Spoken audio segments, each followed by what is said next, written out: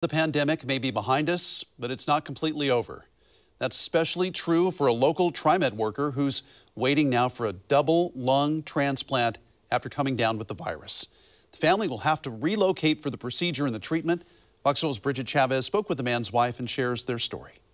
His lungs are scarred. There's too much inflammation and they cannot recover um, without a, I mean, he needs a lung transplant. Bill West first tested positive for COVID 19 in April. He was then admitted to the hospital for treatment. Not long after, things took a turn for the worse. And he's, he's struggling for his life, and it has changed our life forever. Helen West tells me her husband wanted to get vaccinated. By the time he was going to do it, he was already sick. Her message to everyone get your shot. It is not something that when people get COVID should take lightly. There are only a handful of hospitals on the West Coast that can perform the double lung transplant, so when he does undergo the procedure, the family will have to move to Seattle or the Bay Area. I, I don't know what the outcome is going to be, and frankly, um, I'm I'm really angry. It's very upsetting to me that people don't see